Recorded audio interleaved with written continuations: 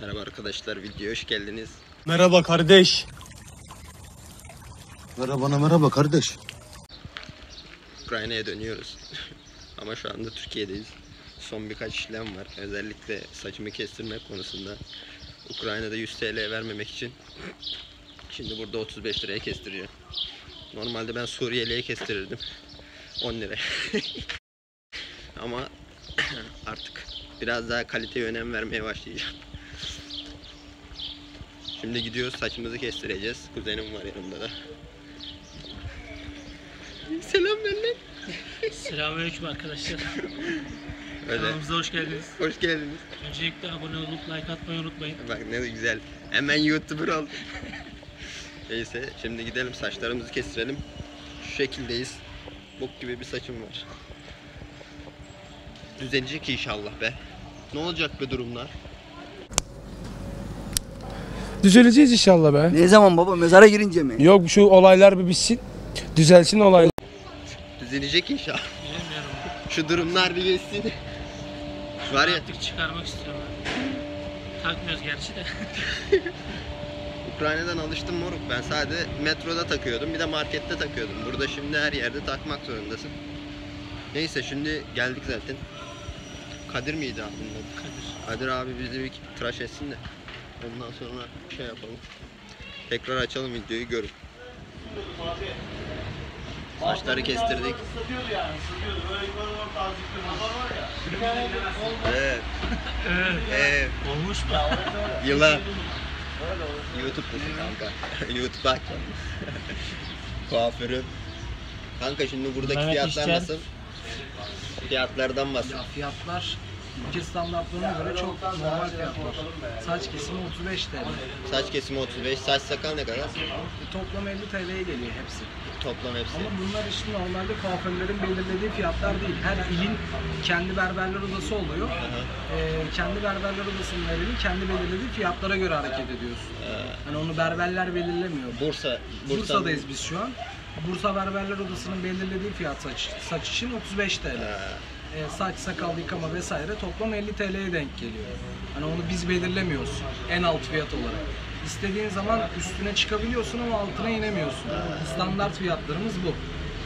Ukrayna'da kestirmeye çalışsam şu saçı mesela 300 350 gramnaya keserler. Tabi orada da kahveni falan veriyorlar. o ayrı bir konu. Ama 350 gramda işte kaç lira yapıyor? 100 mü? 120 mi? Öyle bir şeyler yapıyor şu anda. Kura pek bakmıyorum. Moralim bozuluyor kura baktıkça. Çünkü her gün Türk lirası değer kaybediyor. Siz artık bakarsınız. Yani Ukrayna'ya tatile gideceksiniz falan. Türkiye'de saçınızı kestirin. kestirin. Aynen öyle. Zaten anlaşmada şey oluyor genelde. Özbek berberler falan oluyor. Onlarla çatpat Türkçe anlaşabiliyorsun. Çırakları falan Özbek oluyor. Onlarla anlaşabiliyorsun. Azerbaycanlılar oluyor. Onlarla da anlaşabiliyorsun. Ama genel olarak böyle zaten Ukrayna'da kadınlar kesiyor saçları. Berber olarak kadınlar da çalışıyor. Öyle yani. Şimdi Ukrayna'ya gidince de saçları kestireceğim. Bir de oradakilerin fiyatlarını görün.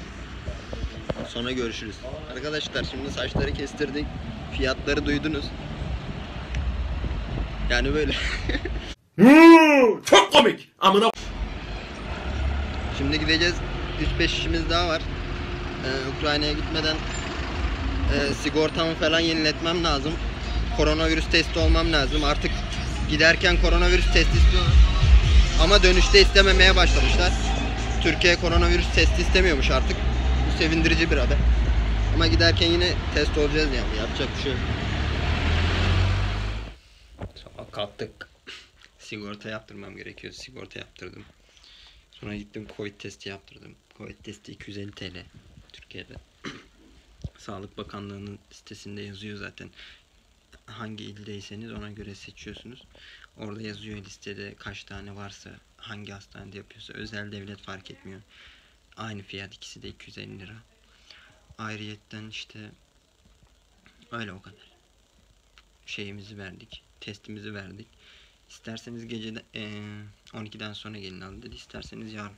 Şimdi uç- uçak yarın olduğu için daha uğraşmayacağım. Gideceğim yarın. Giderken alacağım. Ondan sonra cuma başka başka Bu kadar herhalde. Ama ben sigortayı sadece oturum izni olanlara istiyorlar. Ee, sağlık sigortasına. O yüzden sizin öyle bir derdiniz yok. 200 TL de ona verdim. Tabi bu fiyat şeyden şeye değişiyor. Firmadan firmaya da değişiyor. Kimisi 50 dolar veriyor. Kimisi 200 TL veriyor benim gibi. 6 aylık bu bu arada. 6 aylık e, yaptırmıştım zaten ilk gittiğim zaman. Şimdi onun süresi dolduğu için tekrardan yaptılar 600 e, lira daha. 6, 6 aylık daha. 600 lira nereden çıktı? Beynim allak bullak oldu. Çok koşturdum bugün bir tür. Öyle. Şimdi akşamda valiz hazırlama videosu çekeceğim. Çünkü çok soru geliyor. Nasıl valiz hazırlayacağını bilmeyenler varmış.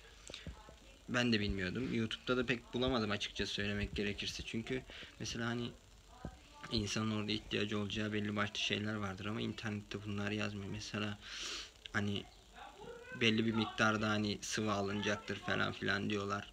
Öyle bir şey yok. Mesela parfüm böyle küçük şişeye doldurmasanız da oluyor. Ukrayna'ya giderken bahsediyorum bu işleri. Ayrıyetten söyleyeyim. Ayrıyetten yanınızda ilaç falan da götürebiliyorsunuz. Ağrı kesici, antibiyotik olsun.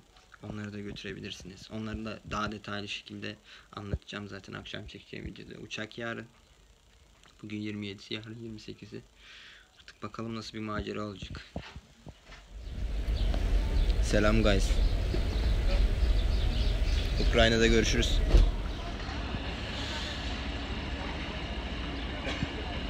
Yorgunum. Şimdi otogardayız. Havalimanına giden otobüse bineceğim. 5 dakikası falan kaldı.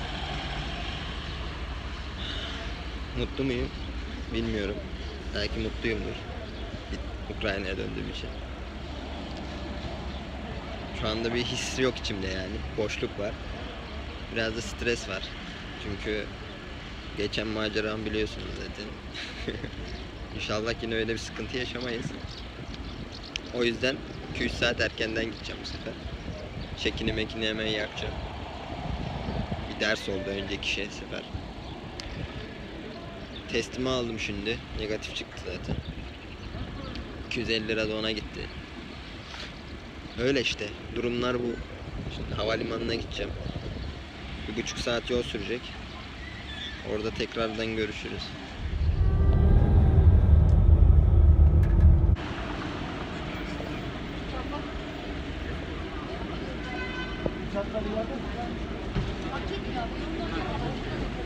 Konuşmayacağım. Bir şey dedim başıma bir şeyler gelebiliyor. O yüzden sessiz ol.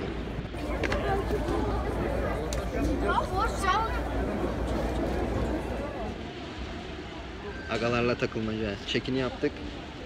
İşte sigortam ve covid testim lazımdı. İkisini de yaptım. Hallettik. Çekini yaptık. Şimdi e, devletimize bir e, para daha kazandıracağız. Buradan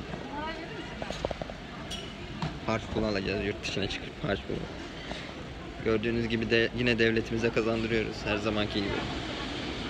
Şu an yürüyerek bile devletime para kazandırıyorum. Enerji yakıyorum.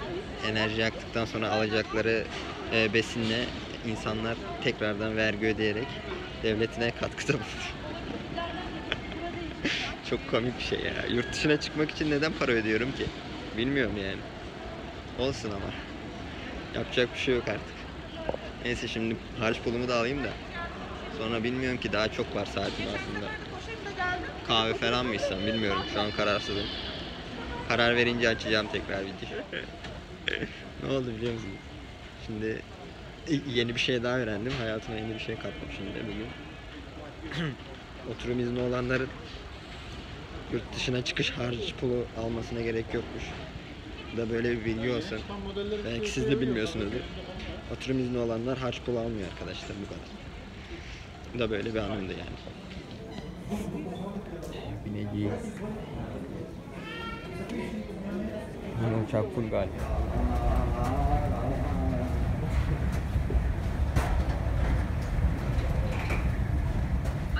Öksürük, burun akıntısı, solunum güçlüğü şikayeti olan yolcularımızın kendilerini kabin ekibine tanıtması gerekmektedir. Uçuşlarımızda elektronik sigara dahil sigara içilmediğini ve tuvaletlerde duman dedektörü Welcome to Ukraine. Şimdi bakalım. Neler olacak bakalım. Şimdi burada bir daha kontrol, bir daha kontrol, bir daha. Şey. Uğraştır.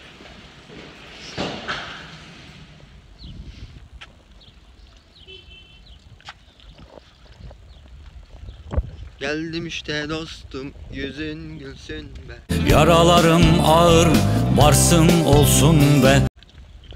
Kanka hava çok iyiymiş ya. Türkiye ile aynı diyebiliriz şu anda. Da belki bir tık daha sıcak olabilir. Rüzgar var. Ama hava sıcak yani. Rüzgar sıcak esiyor. Güneyden gelen sıcak hava dalgası diyebiliriz. Neyse şimdi indik. Şey arıyorum. Para çekmem lazım. Grivnam yok. ATM bulayım bir tane kendime. Sonra hatta para yüklemem lazım tabi. Arama yapmam lazım. internet lazım. Bolt'u çağırmam lazım ki eee, mekana gidebilelim. Böyle yani. Bir şey fark etmişsinizdir bu arada maske yok. Maskesiz hayata dönüş yaptık. Onu da söyleyeyim dedim. Şimdi kalmasın. Et Green'den çektim. Burada ATM'den. Havalimanının karşısında var hemen. Şöyle göstereyim. Havalimanı otelin karşısında hemen ATM var. Oradan para çekebilirsiniz. Çok az para kesiyor.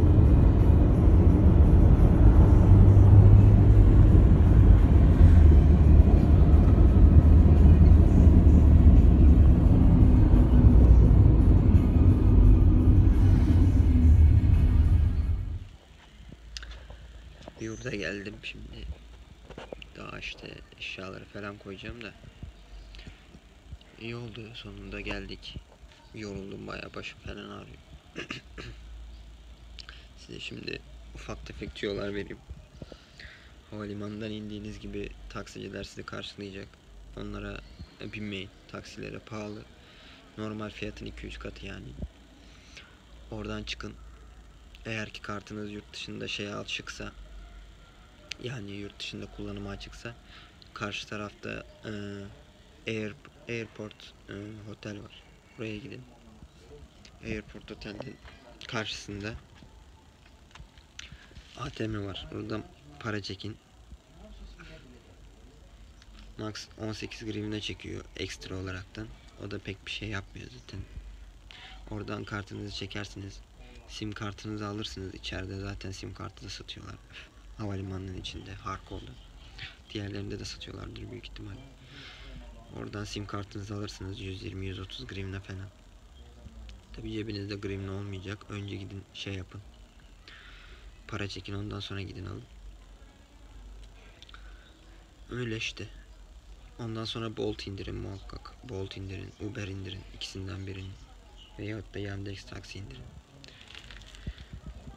Onları kullanın yani. Gideceğiniz yer adresi yazın oraya. Zaten uygulama Rusça. Ama çözersiniz diye inanıyorum yani. Öyle bu kadardı. Ondan sonra cuma ne var? Başka da bir şey yok. Böyle. Videoyu kapatıyorum yine yorgun argın bir kapatış. Türkiye'ye giderkenki gibi. İzlediğiniz için teşekkür ederim. Like atmayı, beğenmeyi. İkisi aynı şey. Yorum atmayı ve abone olmayı unutmayın. İzlediğiniz için teşekkürler. Bay bay.